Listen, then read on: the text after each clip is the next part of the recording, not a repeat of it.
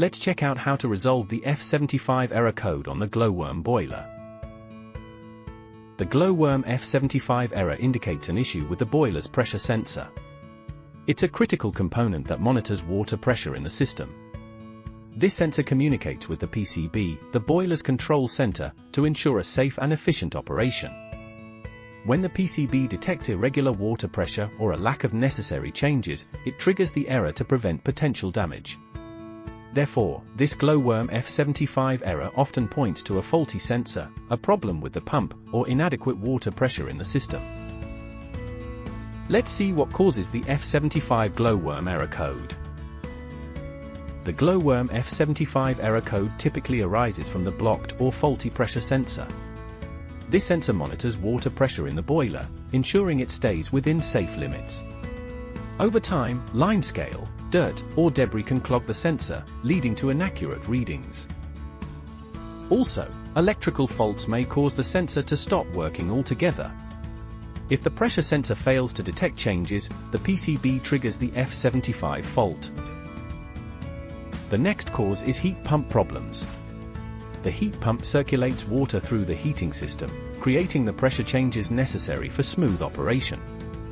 Wear and tear, sludge buildup, airlocks, or incorrect speed settings can cause the pump to malfunction. Symptoms like unusual noises, vibrations, or stuck component signal an underlying pump issue that requires immediate attention to prevent further damage. Though it's less common, low water pressure can also contribute to the F75 error. This is often due to leaks, improper water top-ups, or issues with the filling loop. When paired with a malfunctioning pressure sensor, even minor pressure drops can trigger the error. Let's find out how to fix the F75 error code. Start by resetting your Glow-worm boiler. Hold the power button for about 5 seconds until a cross-like symbol flashes, indicating the system is restarting. Once it's back on, see if the F75 error code is resolved and monitor the boiler for proper operation. If the error persists, check the water pressure.